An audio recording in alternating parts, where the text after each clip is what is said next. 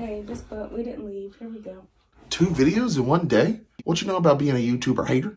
Today we're going to talk about our top 10 Funko Pops of 2020. So the rules are the pop had to come out in 2020. It doesn't have to be in your possession yet. I'm going to let Dia do her 10 and then I'll do my 10. Are they supposed to be in order? No. Okay. Uh, comment down below uh, if, what your favorite Funko Pop of this year was. Subscribe if you're new here. Hi, my name's Kevin. I'm saying this out of order. Uh, share the video. Comment down below. I said that. Leave a like. D just what are your 10? I'm going to stand in the back here, ashamed. First is this one. You like that? It is called Minnie Mouse. It's from Halloween, and she's a witch. I like it because it's black and white, and then it's got the splash of orange. Number two, not in order still. Hey, look who it is. Everybody's favorite villain, Pegasus.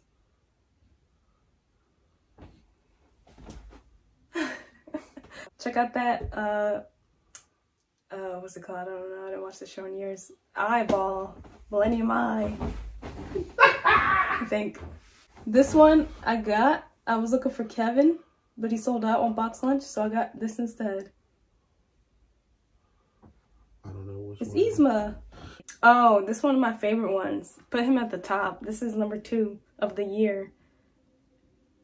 Slightly annoyed Thanos chilling in the garden. This is the best Funko Pop of the year, actually. Just kidding. It's the second best. The first best, I bet you want to know. You have to stay tuned. Who else do I like? Remember Kevin? When I mentioned Kevin? It's Kevin. Not this Kevin, but this Kevin. What number is that? These moves three, four, five. Guys, we're halfway there. Halfway to finding out what the number one Funko Pop of the year is. Bro, Zurg, Enough said. Nothing else needs to be said. It's the alien as Zurg, though, not actual Zurg. Sully, alien. Not the 20 inch one that's too big. It's 10 inch. Too big still. Okay. This is the baby one. Not the baby keychain one, but the baby medium one. Bet you thought I was done with the anime. Guess what? I'm not. Kurama, demon form. I love Kurama. I love One Piece. Look at them rose petals. Yeah. You know how everybody was wanting that masked Ochaco and she was like $400? I got her. I found her in a random comic book shop. Masked Ochaco, but as a rabbit, my melody. There you go. Cheap. I think it was like $12. Oh my But still. Are you down to Honorable mention of a big middle finger to this pop. Alien is Woody. Why? Come on. Why is it that big? Why is it that Who's big? got space for that? Who doing that, bro? When was Woody 10 I, I literally hate this. Come on, bro. But I got it anyway just because I wanted all the Toy Story ones. But why would they do that?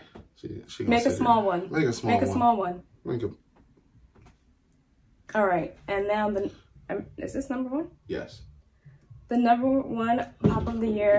That's right. You guessed it. You guessed it. It's Sleepy Donald. Oh, He's sleeping. He's cute. Look how cute. I love him. That's my top 10 Funko Pops of 2020. There's more, but you can only do 10. I feel like you did 11. Another honorable mention. Nope. Yusuke Demon Form. Now that we've gotten through that, we'll talk about my top 10 favorite Funkos of the year in no specific order. So starting out at number 10, pairing these two together, it's the Mad Hatter and the Cheshire Cat from the Mad Tea Party. They both came out this year and they're both part of the same exact ride. If you were to display them, you would display them together. So it's my list. I did it.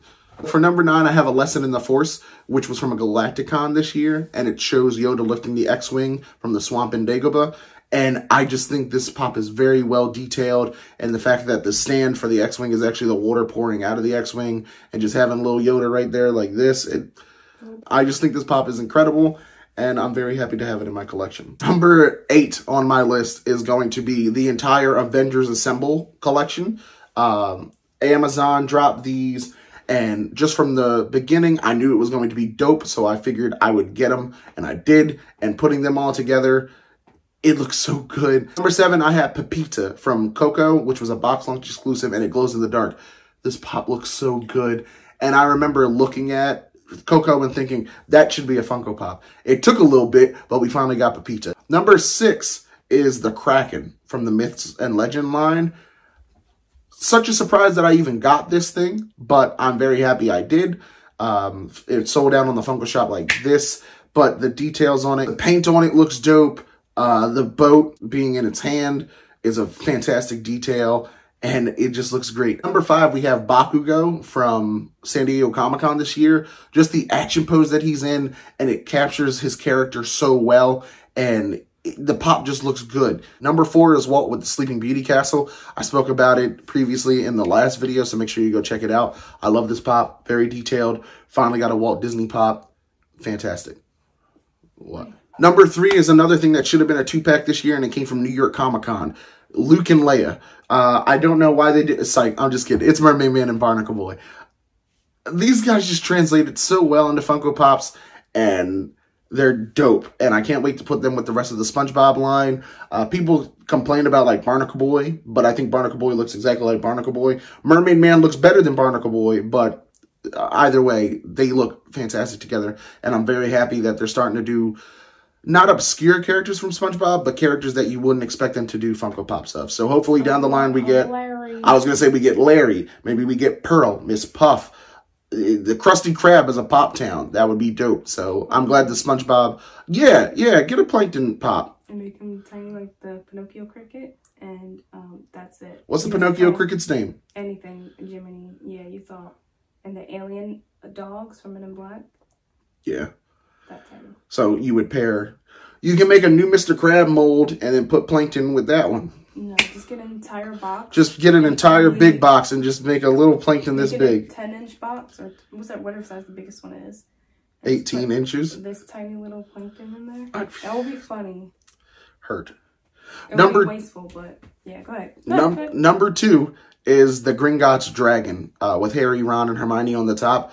This pop oh. came out so well and it's a very dope scene from the movie. And if you're a fan of Universal Studios, there's a ride in which this scene comes to fruition and it's right in front of your face and you're like, ah, the Gringotts Dragon.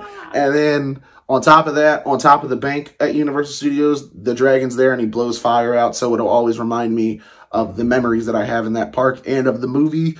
So it's just a really good pop regardless. So I'm very happy to not have it in my collection I yet. Say, but I don't know. I don't remember this. I pre-ordered it and then I canceled the pre-order because I figured we should move before I start buying more Funkos. So it's coming down the line, but you know, that's number two. Number one, like I said, this is in no order, but it's the Korra pop where she has all the elements around her. I don't like Legend of Korra.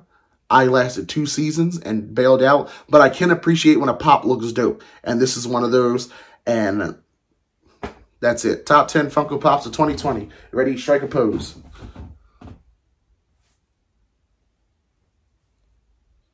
There, there we go. Leave a comment down below which one of these was your favorite. Comment down below if Dia should come back on the channel because right now she's not looking too good. Yeah. Share the video. Like it if you don't mind. I'm Subscribe if you're new here. And welcome to the neighborhood. See you in the next year. See you in the next neighborhood. I. You said it again. This. Yeah, well, now I know. Bye.